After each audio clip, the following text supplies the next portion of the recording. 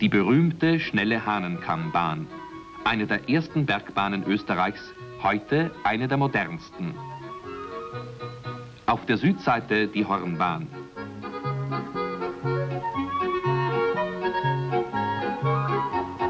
Hier pendeln die Einfamilienwägelchen gemütlich auf und ab.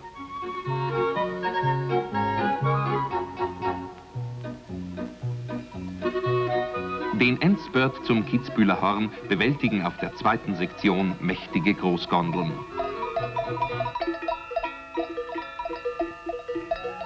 Auf der Bichelalm-Sesselbahn kostet jeder das herrliche Panorama in seinem eigenen Sperrsitz aus. Ein weiblicher Liftikus.